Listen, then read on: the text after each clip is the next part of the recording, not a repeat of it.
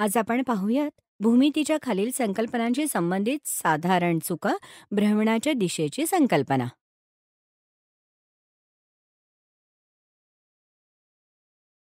साधारण चूक एक.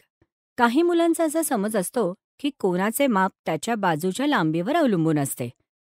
जसे इथे दोन कोण दर्शवले आहेत.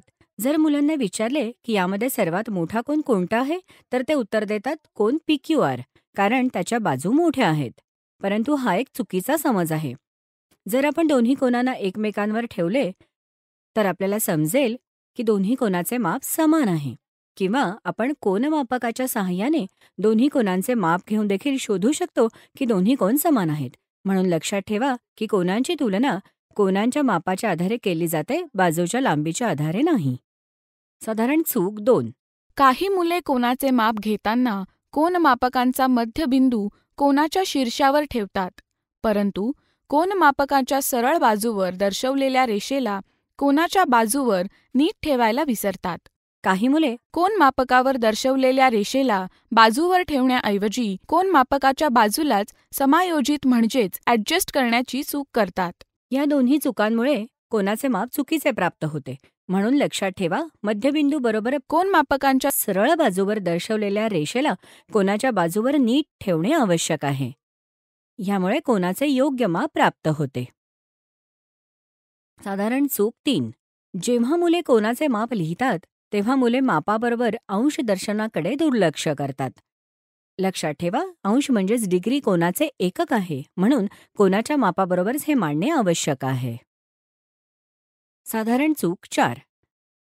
काही मुले लघुकोन म्हणजेच ॲक्यूट अँगल आणि विशाल कोन म्हणजेच ऑप्ट्यूस अँगलच्या नावांमध्ये गफलत करतात ज्यामुळे ते कोन ओळखण्यात चुका करतात.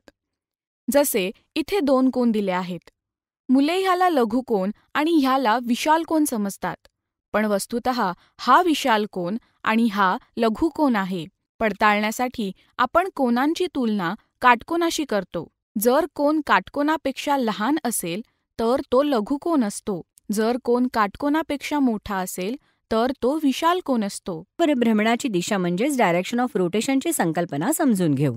जेव्हा आपण भ्रमण म्हणजेच एखाद्या वस्तूच्या फिरण्याची क्रिया दाखवतो तेव्हा साहजिकच आपल्याला फिरण्याची दिशा सांगणे आवश्यक ठरते.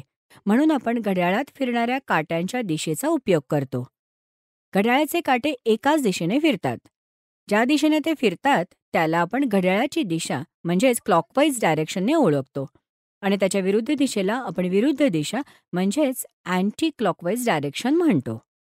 ह्याच्या उपयोगाने आपण एखाद्या वस्तूच्या भ्रमणाची दिशा दर्शवतो.